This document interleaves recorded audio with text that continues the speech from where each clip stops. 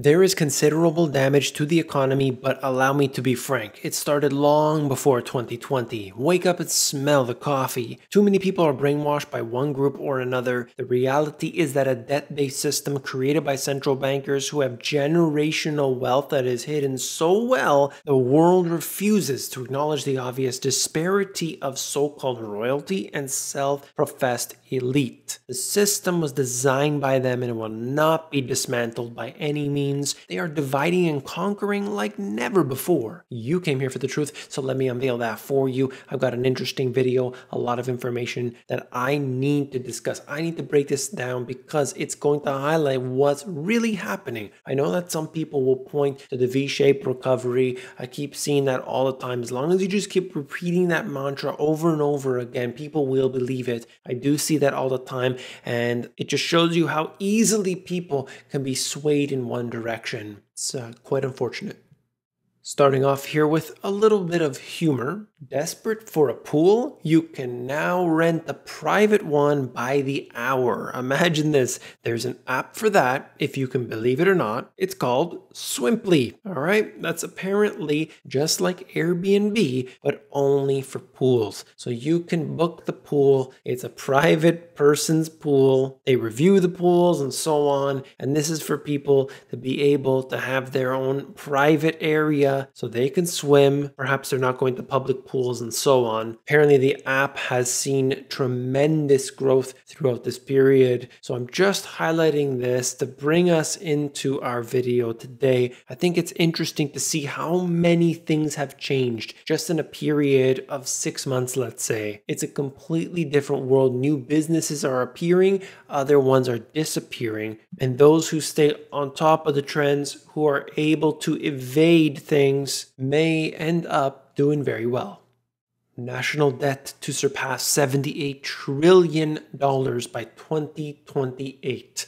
This is unbelievable, but you know what? At this rate, who knows how high it'll go? It could absolutely exceed that, and this is not even including the unfunded liabilities. Technically, the United States has already gone past it. I keep hearing about the nonsense of as long as you grow out of this, you're not going to have a problem, but there is no growth rate that the US has ever had that is able to keep up at this pace.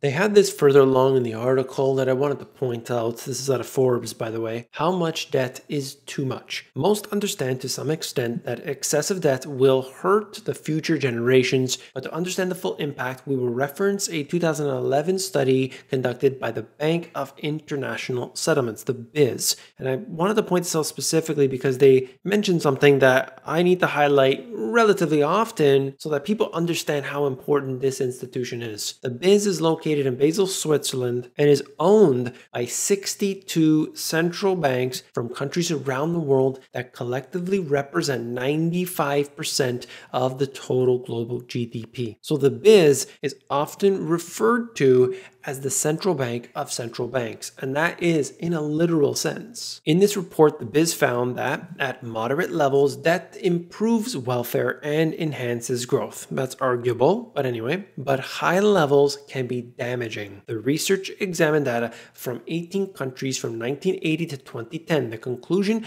when government debt exceeds 85% of the GDP, economic growth slows. Currently, the federal debt to GDP ratio is is 136%. What do you think is going to happen when you put all of this debt on your shoulders? It's going to be a hard climb. That's exactly what many countries are experiencing. Look at countries in Europe, for instance, where they have so much debt, they can't grow. We've been seeing that since the financial crisis up until now. That is a very good example. So, what is the solution? Well, they say if we can't grow, we need to raise revenue somewhere. We need to fix the problems. So, hey, let's raise taxes. That's what they've done so many times. They put these austerity measures in place, and the people only get worse as a result. This is not the solution. It never was the solution, but they do it every time. And it's to ensure that those, as part of the 0.0001%, remain in that group and nobody can ever climb up inside. Latin America will see record breaking contraction as the crisis of 2020 shatters their economies. Imagine how serious this will be considering the fact that there has been a lot of turmoil in Latin America over the years. We expect to climb out of a very deep hole during the second half of the year and throughout 2021. They're talking about that elusive V shaped recovery. Well, regardless, we'll see what happens. But we know that as this waterfall happens, a lot of people get hurt along the way. And a lot of people do not experience this upward swing. It doesn't happen for everybody, it doesn't happen for all different businesses. Certainly, a lot of people will be left I did a post about this, and essentially, what you're looking at is somebody driving down Fifth Avenue. All the buildings are boarded up, nobody's on the streets, and so on. Apparently, even though it says August 7th, 2020, this video was an older video. I did not know that simply because I do not use social media other than to post things that are related to the Money GPS. I guess somebody had seen that on their social media. I'm not sure. Regardless, the point of the video is to show you the the economic impact of what's been happening here in 2020. If anybody is in Manhattan or has driven by, walked by in the last, let's say, week or so, please comment on this video. Put some information down below. I'm sure that things have gotten better over the last couple weeks, but I need to know directly from you. Please inform everybody out there all around the world that is going to watch this video. We need to know what's happening on the ground.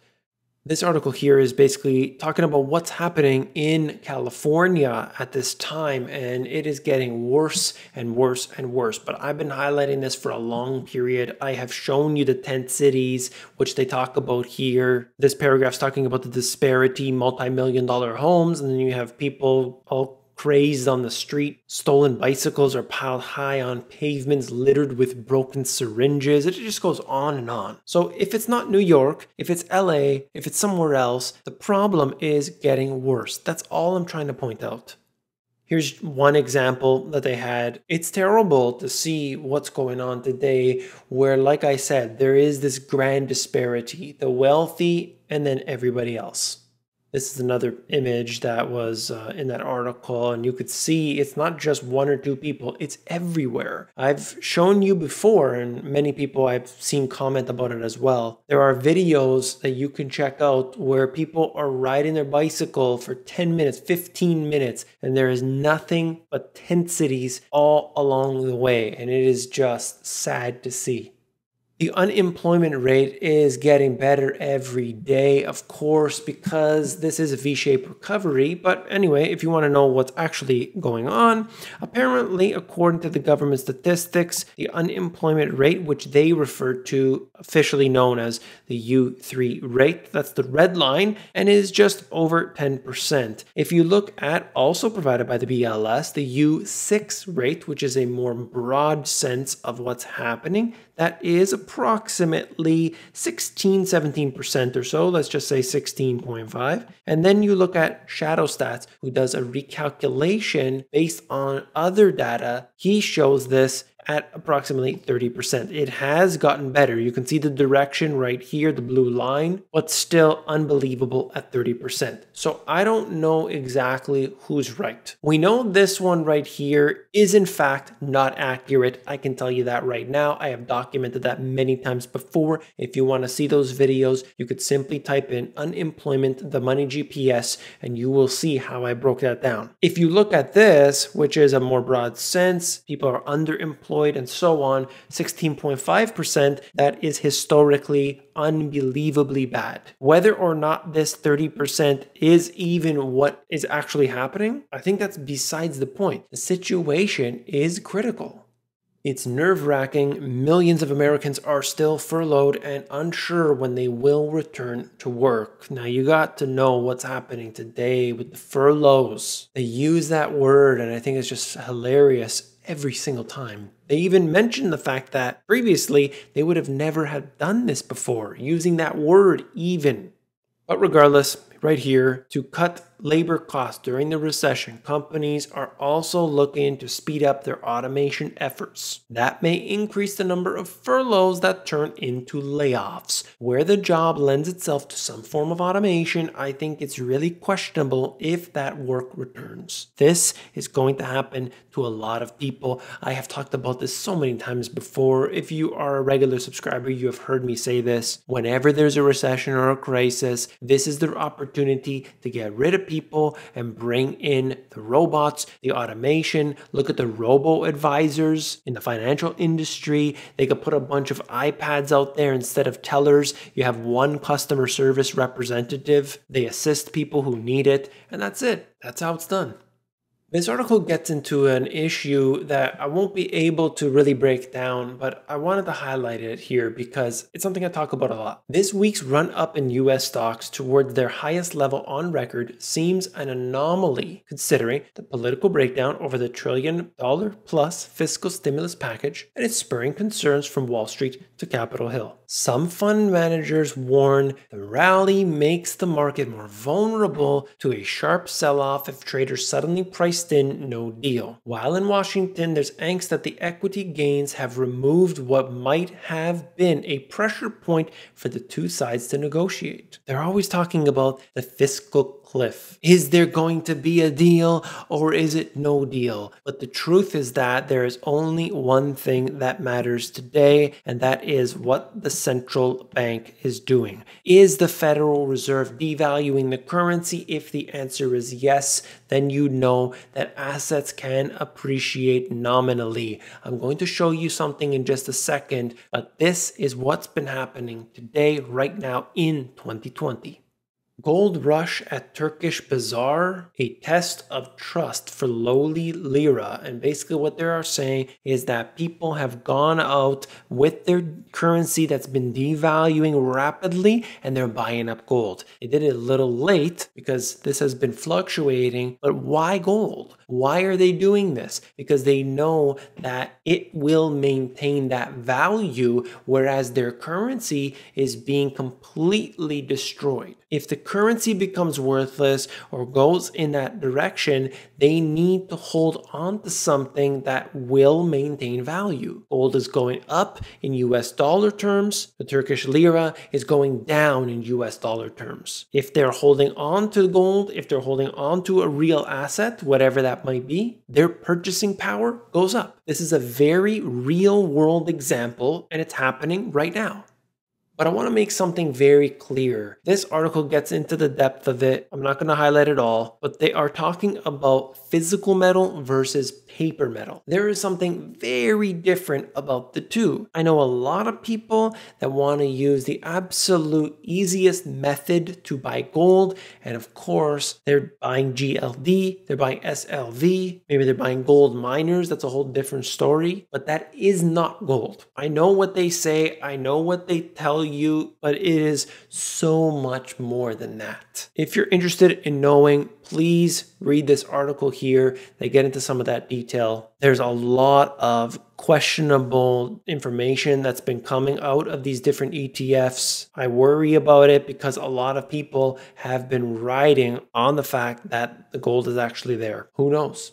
That's all for this video. If you found it informative, hit that thumbs up button. When you do, you're supporting me. Thank you very much. If you want to check me out, Instagram, Twitter, I'm posting every single day at the Money GPS.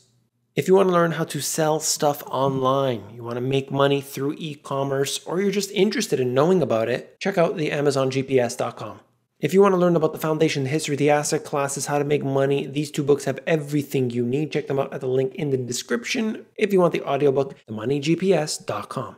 Wait a second, don't go anywhere. Have you seen this video? It actually performed very well, unlike the one before it. A lot of people are interested in it. Definitely check it out if you haven't had the chance. Click it, I'll see you there.